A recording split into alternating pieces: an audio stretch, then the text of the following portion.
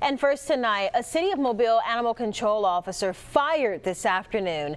This for allegedly beating and abusing at least one dog. Fox 10 News got a tip about the alleged incident, which, according to Port Authority Police, happened earlier this month. I Tyler Fingert digging for answers all afternoon long. He's now live at the city animal shelter with the story you'll see only on Fox 10 News tonight. Tyler? Yeah, for animal lovers, the allegations are disheartening, Lenise and Byron. This police report I obtained exclusively says in Mobile, a city of Mobile animal control officer not only kicked but also hit at least one dog. Right now, that animal control officer was fired today, and tonight he tells me he believes he was wrongfully terminated.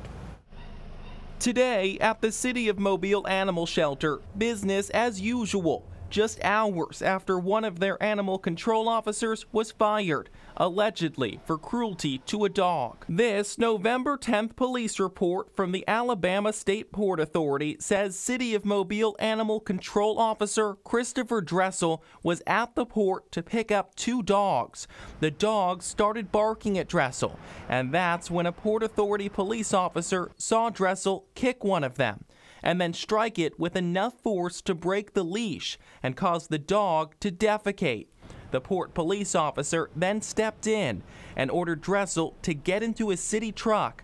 Port Police then loaded the dogs up for him. The Alabama State Port Authority released this statement saying in part, the Port Authority's police officer witnessed an animal control officer abusing the animals and immediately intervened to stop the abuse our port police took steps to protect the animals. The Port Authority says the dogs in question weren't acting aggressive toward any port police officers. Dressel, who's worked at the animal shelter for a year and a half, told Fox 10 News over the phone that he feels he shouldn't have been fired because his life was threatened.